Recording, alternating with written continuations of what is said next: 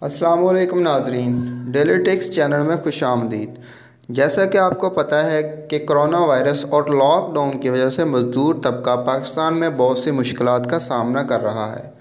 تو government of Punjab نے ان کے راشن کا بندوبست کیا ہے تاکہ ان کو گھروں میں کسی بھی بھوک پیاس کا احساس نہ ہو۔ گورنمنٹ آف پاکستان نے احساس راشن پروگرام کے نام سے ایک راشن فنڈ مقرر کیا ہے۔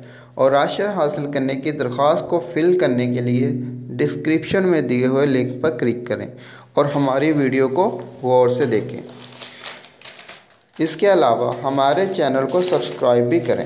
تو شروع کرتے ہیں۔ جب آپ لنک سبسکرپشن میں دیے ہوئے لنک کو اوپن کریں گے تو آپ کے سامنے اس طرح کا ایک فارم اوپن ہوگا، جس میں راشن حاصل کرنے کے والے مزدور کا ڈیٹا ہمیں فل کرنا ہوگا۔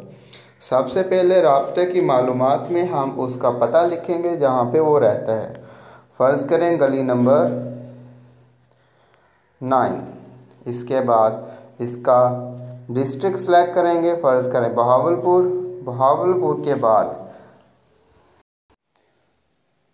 کے بعد اس کی تحصیل سلیکٹ کریں گے۔ فرض کے حاصل پور اور اس کا mobile number.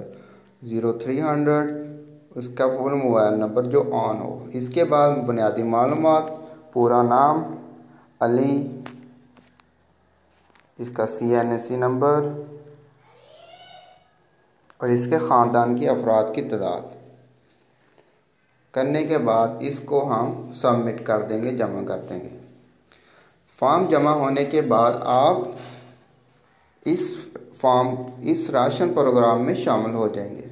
اس کے بعد اگر آپ کو درخواست جمع کرنے کے بعد چار دن تک راشن مصول نہ ہو، تو آپ نے four, double four seven one پر ایس ایم ایس کر کے ہمیں بتلانا ہے۔ اس کا طریقہ کار یہ ہے کہ سب سے پہلے اس کا نام لکھیں گے۔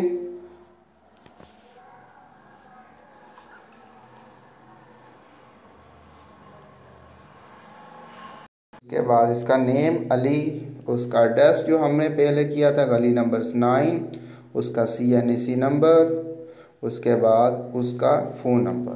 اس کو ہم نے ڈبل فور سیون ون پہ سینڈ کرنا ہے۔ سینڈ والا بٹن دبائیں گے تو دوبارہ ان کو مطلع ہو جائے گا۔